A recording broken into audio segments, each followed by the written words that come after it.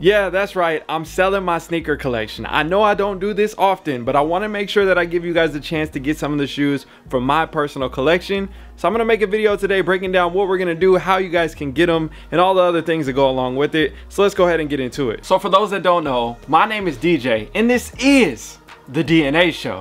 On this channel, I love talking about sneakers, helping you guys with tips and tricks, and showing you guys some of the rarest sneakers in the world. And I've been collecting sneakers for over 15 years now, way before I started social media and YouTube. And like most collectors out there, sometimes you gotta do a little spring cleaning. And I've already put a big pile of clothing and sneakers aside for donations. Now I got a bunch of shoes that I wanna sell, and if you guys wanna get them, I'll be posting them all on my website at shopdnashow.com. But don't worry, we're gonna go through a bunch of the sneakers in today's video, and I'll tell you guys a little bit of the stories and how I got them or whatever it may be or why I'm getting rid of them. And a lot of these sneakers I got doubles, triples of. I've been wearing already. I've been through the rotation. Kind of not my vibe anymore. So many different reasons as to why I'm getting rid of the shoes. All right, we got the Pollen ones. I wore these to a Steelers game. I got a couple extra pairs of these, so I was like, I don't really need uh, to have these still. Plus the taxi ones just came out, so it's a low top Clean shoe, again, I love this for that kind of fall time, winter time, rainy day type sneaker. Got a little creasing, I've been wearing these, but um, there's some good tread on here still. The stars aren't really missing the tread on the back end. Just a little dirt on there, but you know, I keep most of my shoes clean, even if they're like my rockers or my beaters or anything like that. So as you can see from those couple sneakers right there, I've gotten my wears out of them, but I still have a couple extra pairs of the same exact shoe. And there's other models that look very similar to those. So I'm like, why do I need to have multiples of that? If there's another iteration that has come out now and I got that one as well. So I don't need to have all of them plus multiples and doubles and triples of every single shoe. Now, one question that I get asked a lot is how many pairs of shoes do you have? How many is too many? What's the most expensive? All those different things. So when it comes to how many pairs of shoes do I have? Currently, right now, I got around 500 pairs of shoes. Normally, when I'm at my peak, I'm normally around 750, sometimes closer to 800 pairs, but I always try to keep it below 500 as much as possible just because it takes up a lot of space. There's a lot of new sneakers that are coming out literally like multiple every single week at this point. So it's just so many releases with reviews, content, me getting new pickups, uh, trading for samples, PEs, different things that I got going on. It can definitely get overwhelming when you got sneakers here, there, and kind of just everywhere at this point. Now, I also say that to say, when I build my dream house,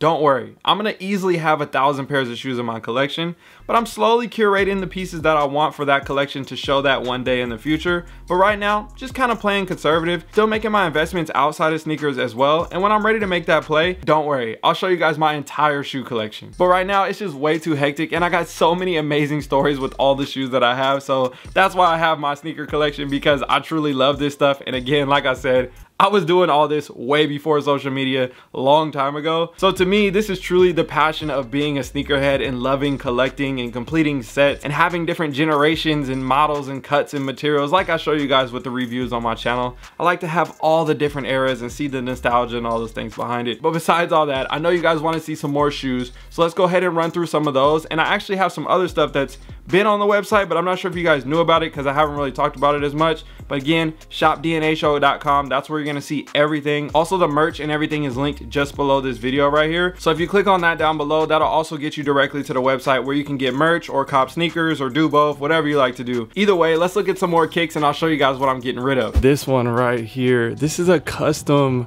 dip dye Air Force One that I did for a video. And I was like, you know what? A lot of people actually asked me for this particular pair. So I said, you know what? F it. Let's go ahead and put it up, see if anybody wants to grab them. Personally, I think the right foot came out even cleaner. Let me know what you guys think down below in the comment section. Definitely a dope little concept. Remember the era of everybody doing dip dyes? This one I was kind of first starting up on YouTube. I wanted to try it out as well but I feel like it did solid. I don't know. Let me know what y'all think. One right here, very interesting for all my 15 fans out there. We got the Billie Eilish Air Jordan 15s. I'm just running out of space and these in particular, I still like this shoe a lot, but for right now, I think I'm gonna let them go. Also, I have so many pairs of Prestos and a lot of people ask me about these. So comfortable. I got literally all the colorways, all the different things. So I figured I might as well get rid of one. I got like a lot of different red versions. I've only worn those a couple times. They're kind of snug. Um, Union Dunks. Here's another one. I've been getting a lot of Dunks and SBs lately. This one in particular, feel like I can get it back if I really want it. But right now, kind of just chilling off of it. I think this would be a good pickup for somebody to add that to their collection. Those are still brand new. We got some metallic fives right here too.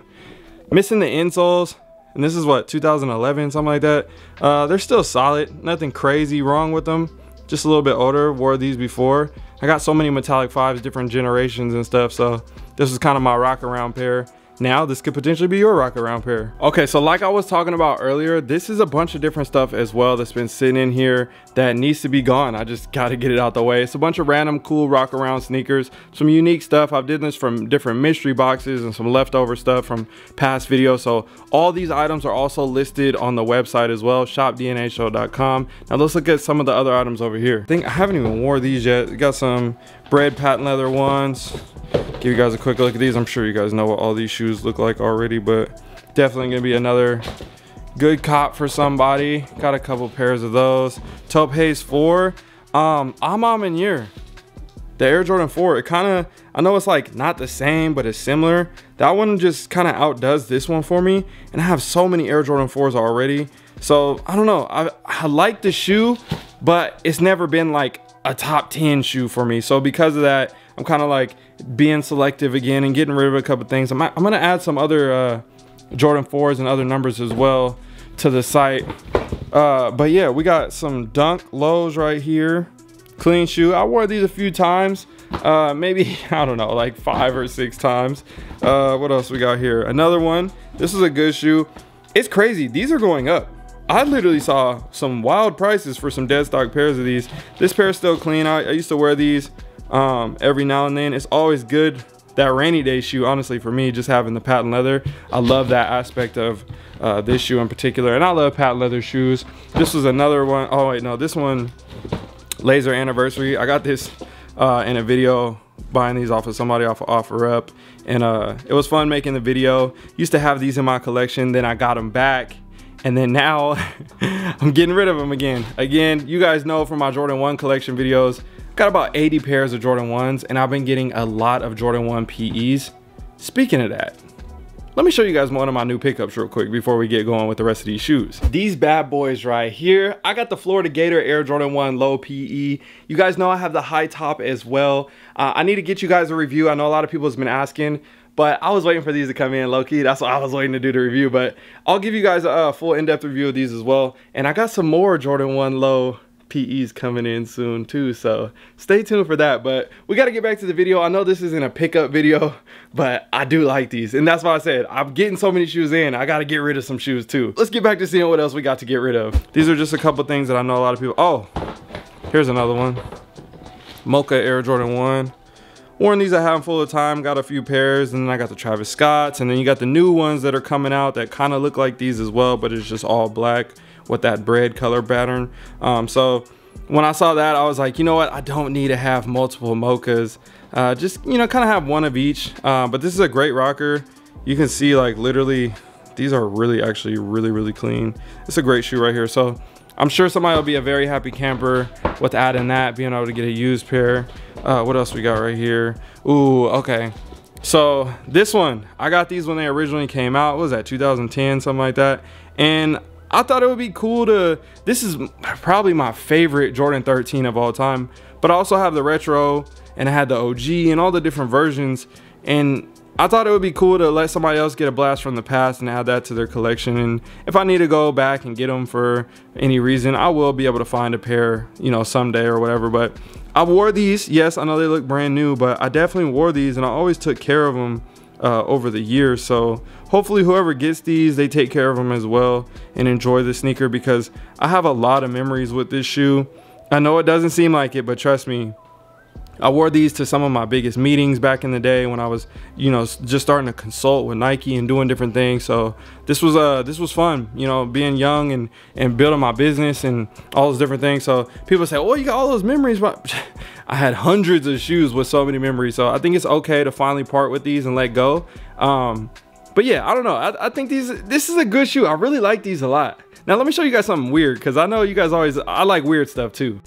All right, size extra large, just for me. Hold on real quick, there we go. All right, we got the acronym Presto. These things go crazy, bro. I still love this shoe. It's just to the point now where I'm like, just because I love the shoe, am I actually gonna wear it? I don't know, but I love Prestos, like I said earlier.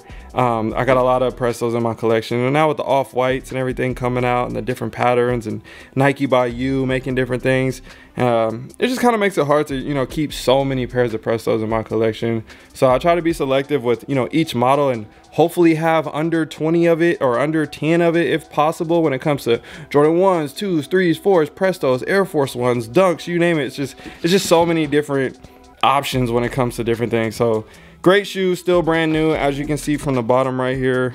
Never, uh, I tried them on, but that was about it. But yeah, this is another good shoe. I like these a lot. So that kind of gives you guys a small gist to everything. Now, what's gonna happen is, if you're watching this video right now when it just came out, if you're a member of my Sneakerhead Academy, you always get first access to new merch, new sneakers, whatever it may be. So if you see anything that's sold out right when you got there, that's because somebody from the Academy or somebody else bought the shoes before you. And if you want that access, just hop into the community so you can get that exclusive access. And I'll make sure I have the link for you guys down below in the description for that as well. Now, another thing that I want to do is I'm adding all those shoes to the site and I'm also gonna slowly trickle more sneakers to the site throughout the week. So if you see something pop up at a random Tuesday at three o'clock, hint, hint.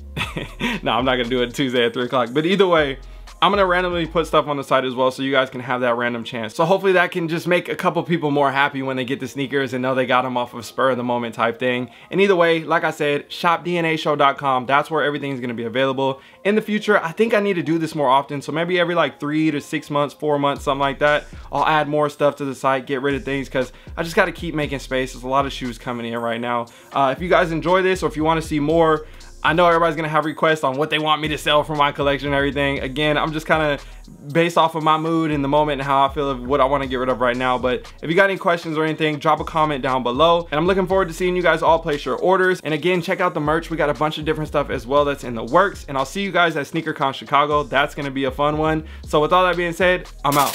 I would never let you down. It's in my DNA. The only choice I like to make what I'm aware today. I would never let you down. It's in my DNA. The only choice I like to make what I'm aware today for it. It's in the DNA.